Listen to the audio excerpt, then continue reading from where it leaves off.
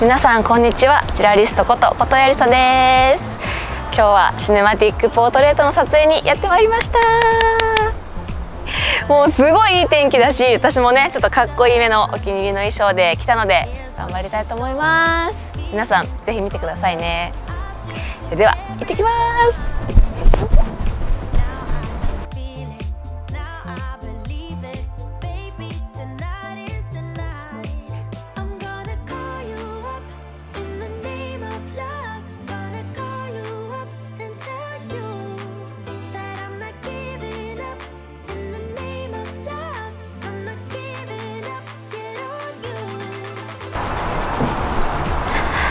はい皆さん、えー、今ですねシネマティックポートレートの撮影を終えたところであります。